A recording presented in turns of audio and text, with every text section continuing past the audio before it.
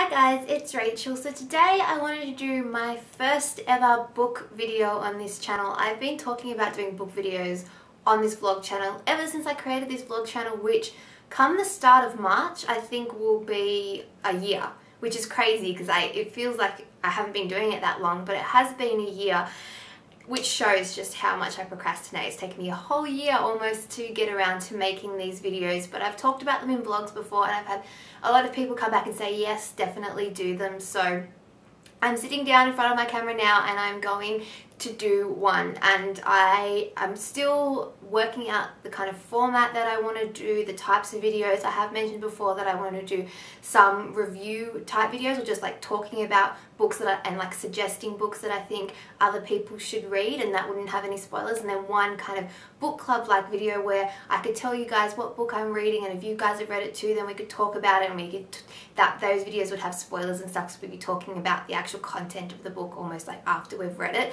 and I've always wanted to be in a book club but I've just never been able to because I don't know of any sort of around me and I'd like to start one but not all my friends necessarily read so I'd have to find other people and I just and then if I wasn't able to always do it then I'd feel bad because I started it and then I couldn't be a part of it or whatever. So I've just never been in a book club, but I've always wanted to. So it's definitely something that I want to do. And I think the beauty of YouTube is that I could probably do it and I could be in a book club with people from other countries and people that I would never usually be able to have contact with, but I can because of YouTube. So that is definitely coming. But the first video or book video that I want to do, I figured had to be on the book that I am most passionate about or the book that for me I don't know, it's the one book that out of every single book that I've ever read in my entire life, which is a big deal, I think, because I have read thousands of books, and that's that's not a lie. I really have read thousands of books.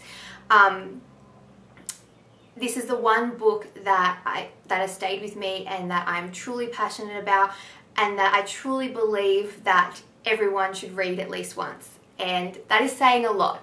So sorry, my hair is getting in my way, but um, I just wanted to bear with me on this. I will, I'm going to talk to you guys about this book and why I'm so passionate about it. And I haven't sort of put all my thoughts together, so if I start to ramble, I'm sorry. I'll try and cut myself off because I can see that happening already because I've had this conversation in my mind about what I would say about this book so many times. I'm constantly thinking about what I would tell people about it because I want people to truly go out and read this book. I want them to love it. I want them to talk about it. I want them to tell their friends about it and go tell them to read it and get them to read get them to tell their friends to read it and I just want I honestly believe every young person, I do think every adult as well, but I think every young person should read this book um, because I think it talks about something that's really important and something that is definitely I don't know, a big issue in society, especially today. I know it comes up in the news a lot, so I feel like it's something that we should all be talking about. And as young people, we sort of have the power and, and it, it, it affects us, so we should be the ones who are in charge of it.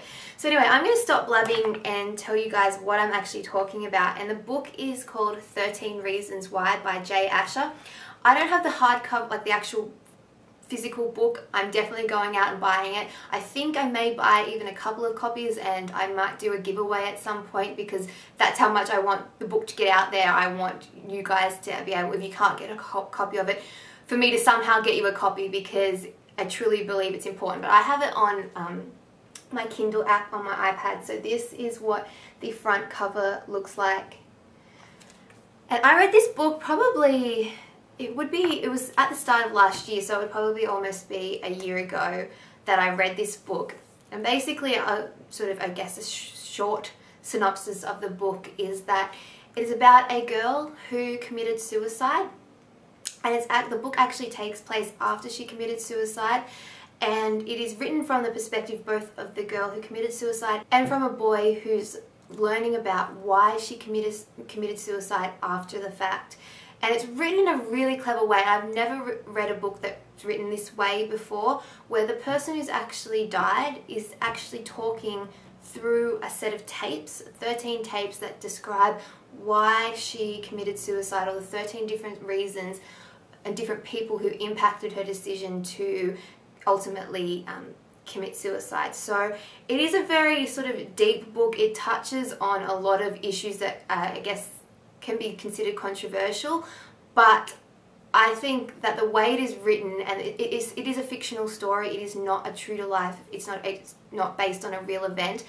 But what is said is totally things that could happen in real life, and it, it is really important to see that perspective. And like I said, it is written really sort of creatively. It's written so it's almost real. Like I know that a lot of books where somebody's died, like they may the voice of the girl or the person that's died may come back as a ghost or may come I guess through some supernatural means, whereas this, it's it's looking at both the past and the present, and the present voice is the guy who's listening to these tapes, and then the, the past voice is obviously the girl who committed suicide, and it's the, via these tapes that you get to hear her story, and it, by doing it that way, it makes the story so real to life, like this this could happen, and I guess the reason why I think that it is such an important book to read is that I myself have had a friend commit suicide when I was 15. One of my very close friends committed suicide and it, it shocked me and it shocked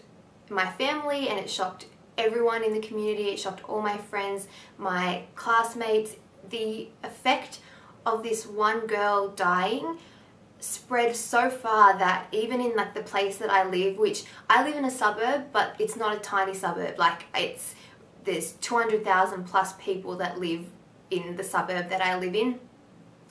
And at the time, I didn't go, I couldn't go anywhere without meeting somebody and speaking to somebody who had some connection to this girl's life and to her death and had it was just it's a surprising i don't think people realize especially ones that are sort of feeling depressed or, or maybe in this state where they're considering taking their own life, they don't realize how much their life impacts so many people.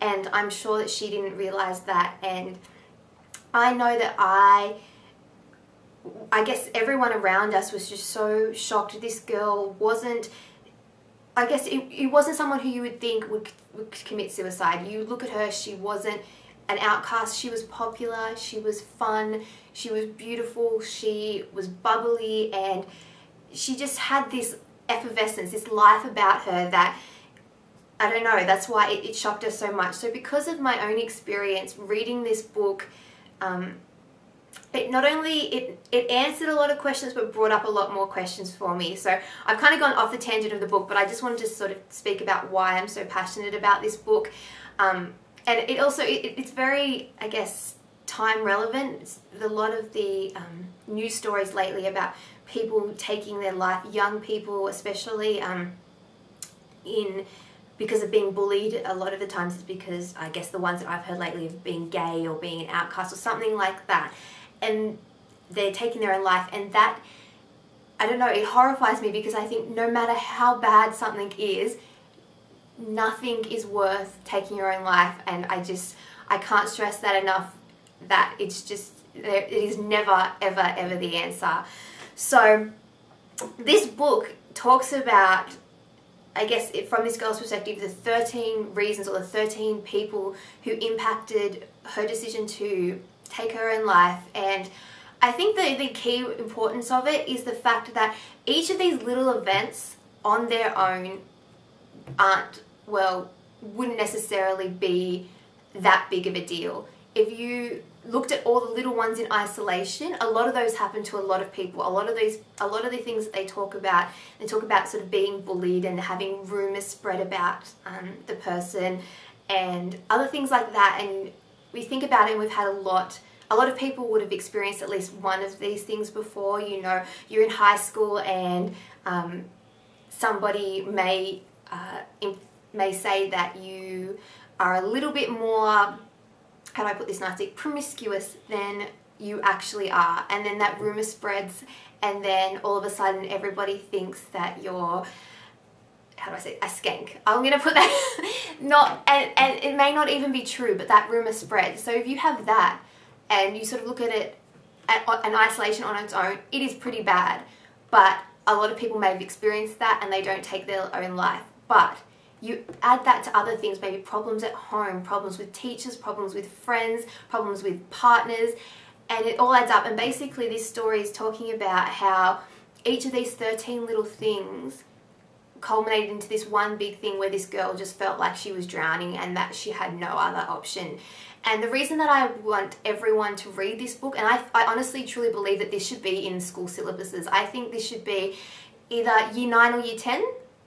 Um, I think that, I guess year 10 probably because for some more conservative schools, um, maybe year 9's a little bit young because they're 14, 15 year olds, but definitely 15, 16 year olds in the 10th grade should all have to read this book because it really opens your eyes to think about these little things that sometimes you don't even realize you're doing to people, but they are really hurting someone and you just, I, I think it's, it's definitely a real eye-opener and when reading this book, it was written so well that I wanted to keep on reading it and I was truly, I guess, engaged in the story and I wanted to keep on going with the book and it's not something that I usually read. I like to read things with happy endings. I like to read stories where the guy gets the girl and it's a fairy tale ending because I think life is messy and complicated enough that I want a story where there is a happy ending. But this book, despite not being what I would usually read, really, really touched me. It really stayed with me and I speak to it. I speak about it to everyone that I can. I um, bring it up with my friends. I truly there was a way for me to like speak to teachers about it and try and get them to get their classes to read it I would because I think that it's truly important for people to see especially kids in high school because they you just don't realize what you're doing to other people until I guess you take a step back and really see a full picture. We never know, even with your friends, you never know truly what is going on. People keep secrets. You may think that this person is perfectly fine, but they're really having this terrible time at home or they're having this terrible time with their boyfriend and you just don't even know about it. And I think that we get a, especially as teenagers and I know I'm guilty of it and I know a lot of people are and it's I guess part of being a teenager. You get so caught up in your own life that um, you don't get to see the big picture and I think this book really gets you to see the big picture of this girl's life and every single as aspect of it. And as you go along you just feel so heartbroken for it and you almost want to get in there and try and help her and say like you're looking at this the wrong way and I don't know, I don't even know how to describe it, but I truly believe that this book changed my perspective of things and I think it would change the perspective of a lot of people of their life, especially teenagers and I just really, really think that if you haven't read this book, go read 13 Reasons Why by Jay Asher and if you've got friends, especially if you're in high school and you may notice your friends not necessarily outwardly or purposely bullying someone, but they may be doing things that impact on another person's life that you can kind of see as negative, but you don't necessarily feel like you're in the position to stand up to them or point out for fear of your own, I guess, social status. Because I know when I was in high school and when um, my friend committed suicide, looking back now, like at the time I felt really old, but I just, I can see now, being 22, that I wasn't really equipped to deal with it and there were probably worse signs that I didn't see. This book talks about um, in, in high school and getting, um, getting pamphlets and things about five signs that somebody um, could be depressed or could be on their way to taking their own life. And when I was in high school, I don't think that we ever got anything like that. We were pretty not necessarily sheltered, but yeah, I guess in a way sheltered. Until this happened, I was in the 11th grade. It was the start of the start of the 11th grade. I think it was like my second week into the, the start of the school year when this happened and we were just in a state of shock and I think the school was in a state of shock and the community was in a state of shock because we didn't really talk about it. I think the only time that we talked about um, suicide was in maybe the 8th grade in religion class and I think we had a topic called death and in that we talked about things like euthanasia and abortion and other subjects like that but it wasn't really sort of super in-depth. It was just more discussions about things and that was pretty much it. So until that I hadn't had any experience with this kind of thing. I'd had like grandparents die but that was about the extent of my experience with death but specifically suicide. So the reason that I'm really conscious of this book is because it really opens your eyes to things and I think this book isn't just for young people as well. Um, I think in terms of age groups, maybe sort of I, I, I, I actually think that 13, 14 year olds should be reading it because I think the seventh and the eighth grade is actually when people are the, I guess you could say the cattiest. And that's like what they, they're actually sort of the most cliquey and the most um, bitchy and the most, I don't know, I just, I think that they should read it. But I guess in a school sense, um, there has to be some sort of guidelines, but definitely in the around 15 or 16, I think everyone should read this. And this book isn't just young people that impacted this girl's life, it was adults and teachers and people like that, which is why I think teachers should read this book so they can sort of, it might open their eyes to how they impact on students' lives and I think parents should read this book. I honestly think everyone should read this book even though it is probably, a, it is in that young adult genre it's definitely not only for that group of people. Like I said, I don't think, I think any age from 13 upwards should read this book and could read this book and understand it. There are certain topics in there, things um, like sex and drugs and stuff like that, which is maybe why the younger audience shouldn't do it. Obviously, the topic of suicide is also a big thing, but I think the more that we talk about it, the um, more people are aware of it, the more they're looking for signs in their friends or their family, and the more it becomes less of a taboo subject, and the more the more information is out there, the more likely there are that people may be contemplating this that they get help. Because if I had for a second thought that my friend was even contemplating suicide, I would have done something about it. I would have, I don't know, moved heaven and earth to do something about it and it's just that we just didn't see it.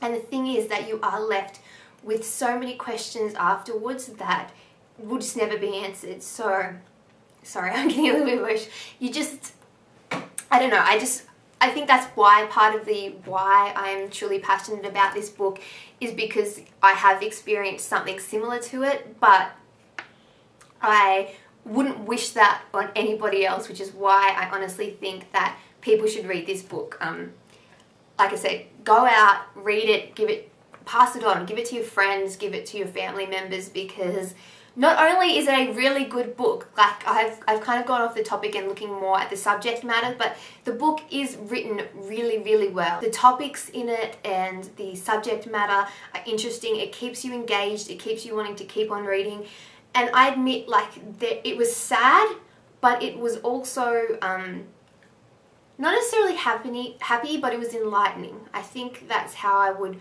describe it so um, I did towards the end I admit that I managed to not cry throughout the book until the very end and then I was bawling my eyes out. And I think part of it was the book and part of it was also um, my own experience and me thinking about that. But overall, I think it is a fantastic book. I think you should all go out and read it. And I'm sorry that this video has been sort of a, so serious and my other book videos probably won't be this serious. I, Like I said, I read a lot of light-hearted books, but I felt that this needed to be said. And by me telling you guys to read it and then having, even if just one of you go out and read it and just one of you go out and tell your friends to read it and then another person, one of your friends reads it and they tell another friend to read it, then I feel like we're helping and that um, I guess I feel like we're helping and I feel that this issue can be brought more to light and hopefully it'll stop people from taking their life. If, if one person reads this and, real, and realizes that a friend may be close to it and they can help them out, then I feel like that is a fantastic thing. The one thing I want to stress is too that this book isn't necessarily a guideline to why people commit suicide. I think in the end you never are going to truly understand why a person takes their life. I know when my friend died, I everyone had all these rumors were going around about why it happened and, and what caused it and, and things like that. And the truth is that you were never going to know. Nobody can truly understand somebody's reasoning for for taking their life. But, but what is important is trying to make sure that nobody ever gets to a point where they feel like that is the only option.